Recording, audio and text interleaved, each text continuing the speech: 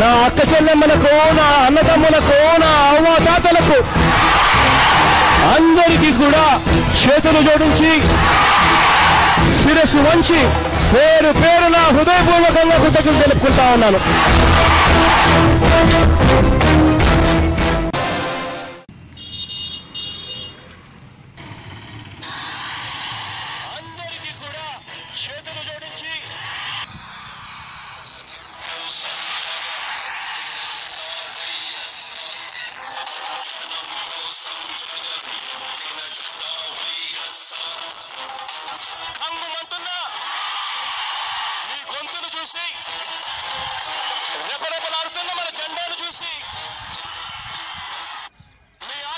ఆ-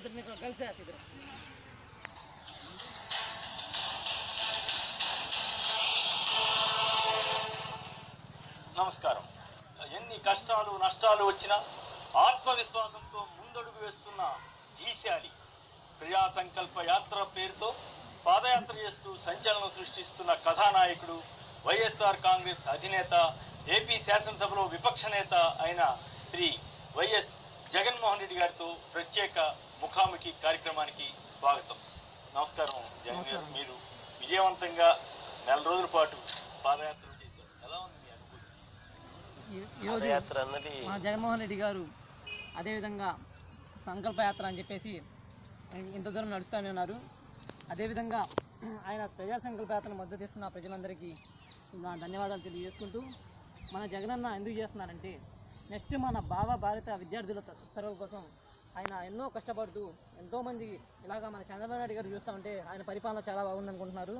కానీ కొంతమంది విద్య ఎక్కువగా బాధపడేది విద్యార్థులు ఒక్కరి మాత్రమే.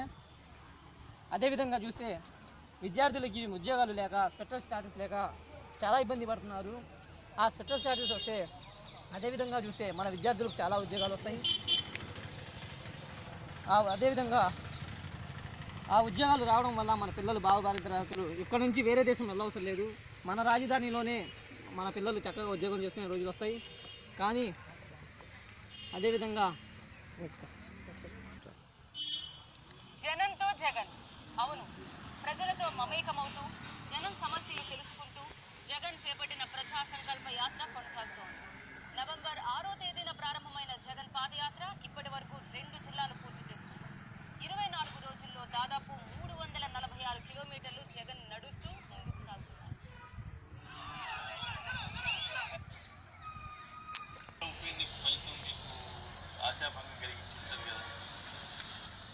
నంద్యాలకు ఎలక్షన్ చాబు చాబు అనేది ఎలా జరిగిందన్న సంగతి మీ అందరికీ కూడా తెలిసిన విషయం